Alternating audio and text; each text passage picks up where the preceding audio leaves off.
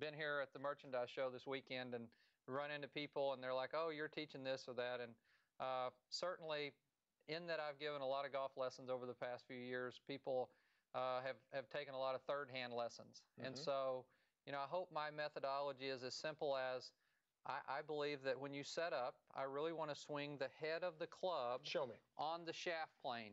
So when I when I set up whatever it is that I set up where the shaft angle comes up from the head, I want to let my club swing in a circle just like I would swing a golf club back in a circle on the shaft plane.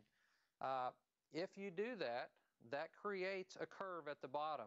A lot of people are focused when they hit a putt on let's keep the path of the head along the target line. Uh, that's certainly a, a, method that works for some folks. That wasn't how I was taught. It wasn't really where I go when I teach people or what I look for. So when I'm looking for the head swinging on this curve, well, I'm also looking at what does the face do. I believe you're, you're going to be most efficient if the face swings along that curve where the face stays at 90 degrees to the curve. And certainly people's, uh, I, I, hear a lot of people say, oh, you swing it uh, open door, open, closed close, door, yeah. you know, open the gate, close the gate. Well, you know, it doesn't really work like that because the heel swings. A, a door has one hinge. Well, my whole putter face is swinging along that curve. Uh, another another big piece, and I have talked about this and will continue to. What do the forearms? Well, if a person is coming at their stroke where the face is shut to open, then I'm going to have them work on what their forearms do. It's going to have a feel of opening and closing, and certainly it feels extensively in that direction if they've been going the other way. But we need to keep it as simple as we swing on plane, and we're going to keep the face angle or the face aim square to that curve. Okay. The three keys, let's keep it simple. Three keys to good putting. Take notes at home. Here we go. Uh, Your three keys. Just, just, three. Well, how many do you have? Do you have five? I can never keep up. All right. But we'll give you two or three. Okay. One, I want to teach a fundamental grip. Okay. And when I'm teaching tour players, you're, you're hesitant to change their grip. Some guys, you just realize they're going to stay with their grip. But the more lessons I give, when I show people what's called a reverse overlap grip, which means I'm, I'm overlapping my left index finger instead of my right pinky finger like a golf swing.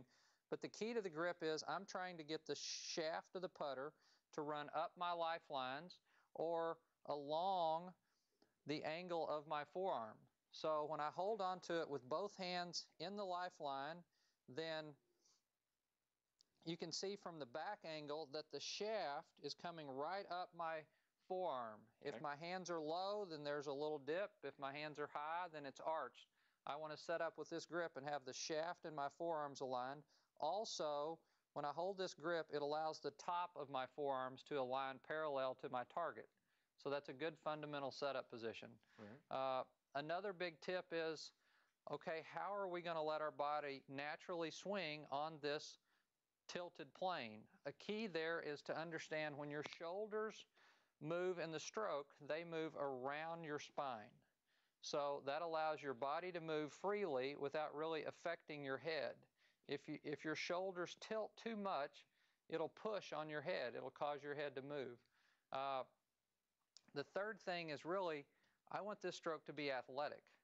To allow it to be athletic, like if I was going to pitch a ball, I would probably pitch a ball mostly with my arm. Wouldn't be all of anything, but I would have freedom to swing my arms. When I teach people to putt, I'll often say, okay, let's set up in our posture and swing your arms. Well, the reaction I get is, I said, swing your arms. That's moving your body. Okay, so I want people to realize they have shoulder joints and elbow joints. We want those soft enough to when we swing the head back, there's freedom, there's motion in those joints that gives us better feel and touch. What about impact position? Here you go. An, another big key, and a problem that I see quite often, and, and it might have been a little bit of what happened to Jose yesterday, is if a person is, is set up where their shaft is back, well, that leads to taking the grip back first. But for sure, if a person returns to impact and the shaft or the grip end is behind the putter head, they're, they're hitting up and they're kind of scooping the ball. It's important to me to get, get a player to actually return the putter back to impact and have the shaft lean toward the hole or forward pressed as little as a half a degree. But the key is I want them to feel like they're pressing down on the ball.